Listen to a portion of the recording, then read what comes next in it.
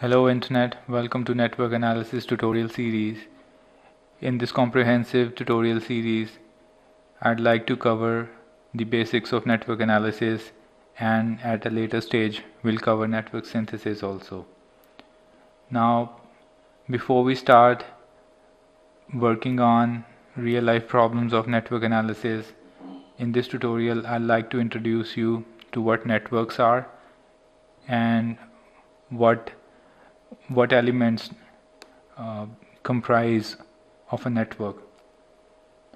If we talk about electrical network, it consists of various elements interconnected uh, in a in a rather complicated way so as to perform certain functions at certain certain points. For example, if we want to study network analysis, we should be aware of what all network elements are we likely to encounter. The network elements are classified into two categories.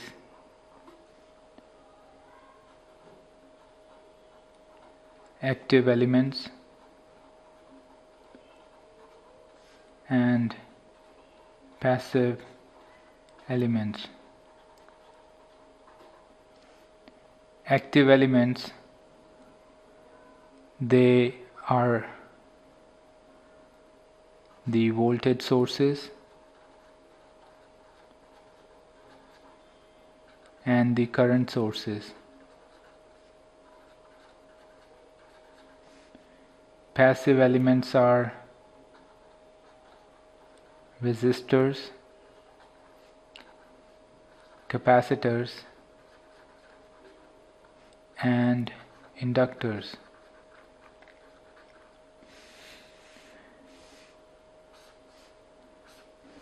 And the beauty of this subject is that we are going to encounter only these elements when whenever a network is made.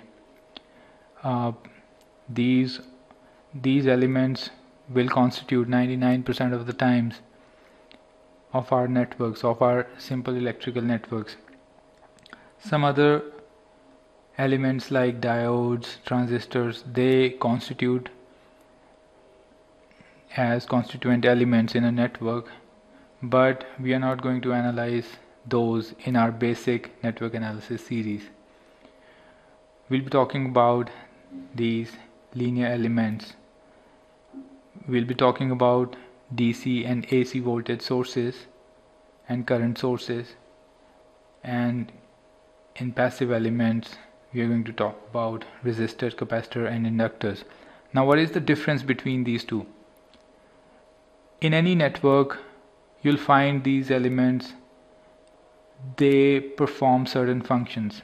Active elements perform the function of supplying energy to the network whereas passive elements perform the function of consuming that energy.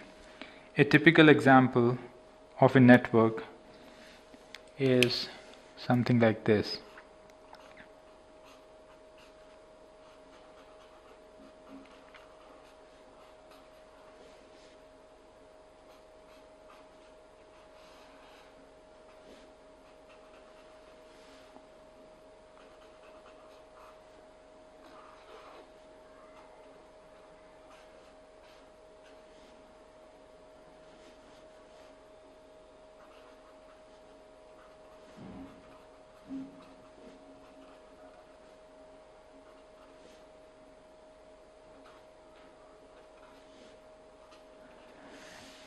Now, if we were to classify the elements in this network, we would say that this network has two active elements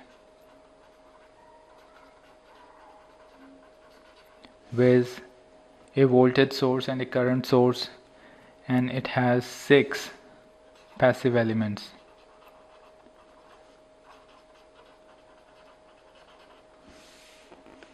There are three resistors, two inductors and one capacitor.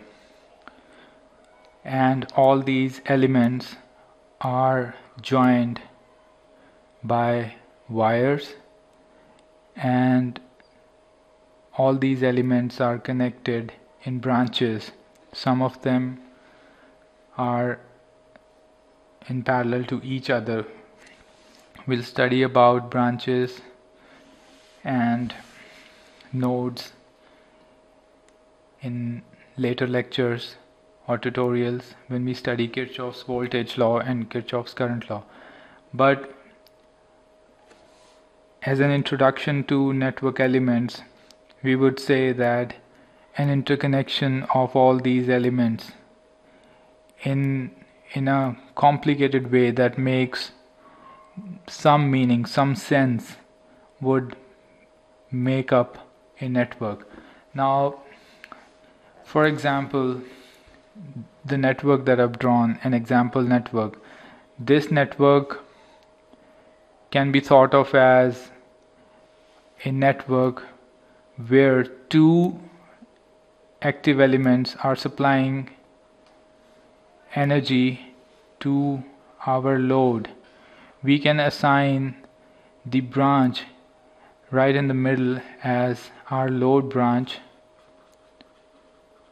So what is happening here is there are two sources which are driving this load. So we are trying to perform some function.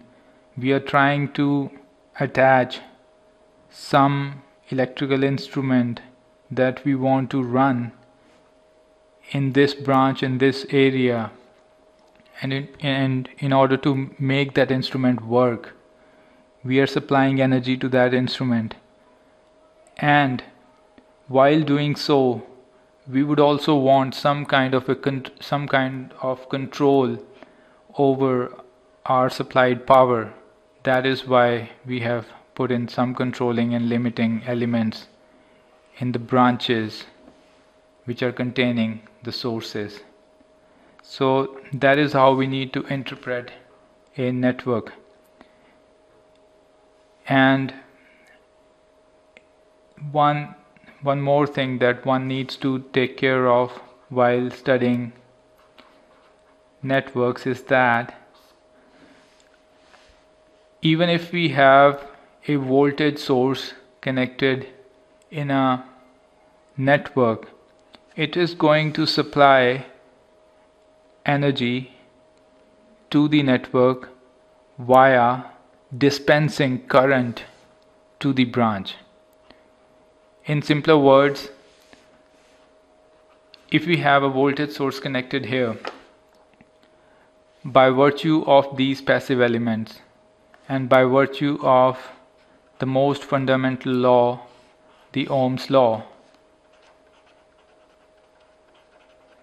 It is going to generate some current which it is going to dispense in the branch.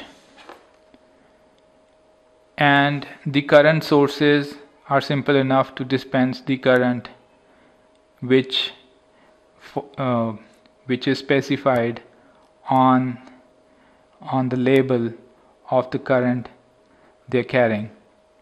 So in other words if this current source has a label of 2 ampere so it is going to supply or dispense current of 2 ampere in its immediate connecting branch. Of course when this current passes through this node it has to make choices where it will divide itself into two parts in certain ratios and same happens with this current. When it comes to this node it divides itself into two parts.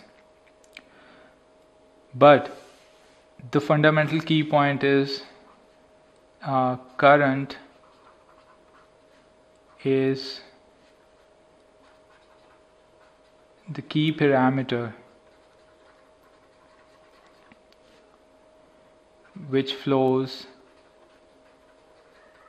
in branches.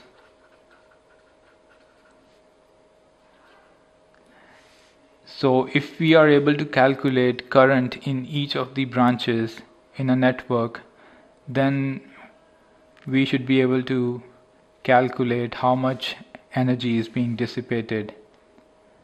Because we have another formula for power dissipation which essentially requires the current as one of its calculating parameter. And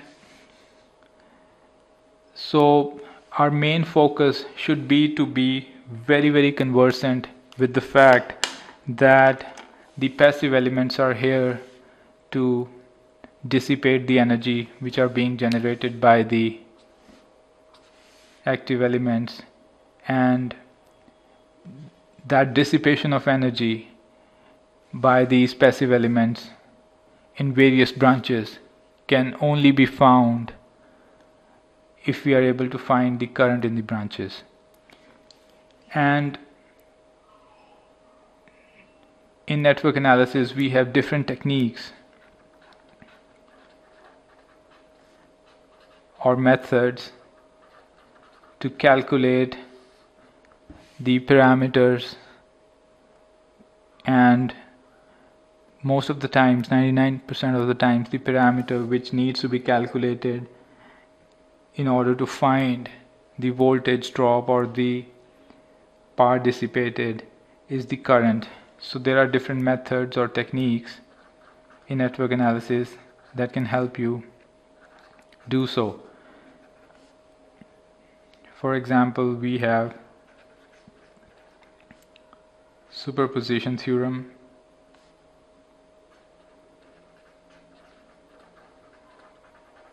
Then we have nodal analysis which is based on Kirchhoff's current law. Then we have mesh analysis which is based on Kirchhoff's voltage law then we have Thevenin's theorem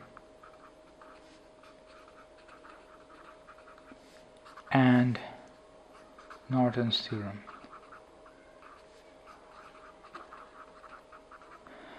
Now, if I were to calculate the current in the load branch, if I were to calculate Ix in the load branch for this particular network, network analysis gives me a provision to calculate it via five different methods. Now it's up to us to judge which method suits which network the best. And as we progress and as we practice analyzing the networks more and more, we become more aware of the application of these techniques in particular networks. So in the coming five tutorials, we are going to study all these different techniques in detail, which will help us find the currents in the branches for any particular network and once current is found in a particular branch we can calculate all of the parameters like maximum power dissipated and so on and so forth. So this was an introductory lecture or tutorial to what we should ex expect in network analysis. We should be very very familiar with the properties of voltage sources, current sources, resistors, capacitors and inductors. For example, when voltage sources are connected in series or when they are connected in parallel, what do they result? and similarly we want all the formulas to be on tips for resistor capacitor and inductors we should be very familiar with the working and theory of all the passive elements all these elements they oppose the flow of the current to some extent. Resistors are going to oppose direct current. Capacitors and inductors are going to oppose alternating current. So the opposition offered by resistors and induct, uh, capacitors and inductors is known as reactance. So time and again all these basic things will will come into picture when we solve network anal when we solve various networks. So this was all for the introduction and I hope this tutorial was helpful and stay tuned for more tutorials on network analysis.